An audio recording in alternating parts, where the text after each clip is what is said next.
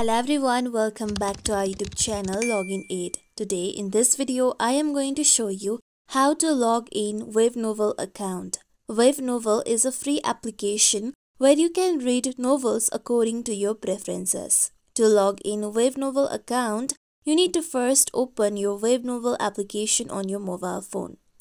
Then here you'll be able to find some recommendation of novels from the application. Here you can see some of my recommendation. Now here to log into your account you need to tap on the compass icon that is present on the top right.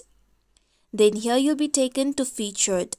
Now here you can see some of the featured books and novels that are present. Now tap on profile option on down right section. Then tap on sign in option on top. Now here you can see you can log in with your Google account, your TikTok account, your Facebook account, your Line account or your Twitter account. To log in using your mail address, tap on the small message icon, then it will directly take you to the login page.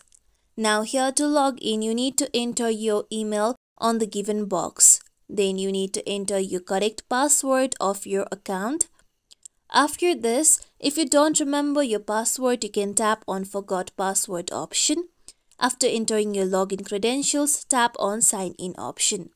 With this, you'll be able to log into your account. As you can see here, my account has been logged in. You can see your web novel profile on the top. Now here you can continue with reading your novels by tapping on library option on the down left corner. This is how we can log in Webnovel account. This is it for tutorial everyone. Hope this tutorial was helpful to you all. If you like today's tutorial, make sure you like, share, subscribe to our YouTube channel for more tutorials like this. Thank you for watching.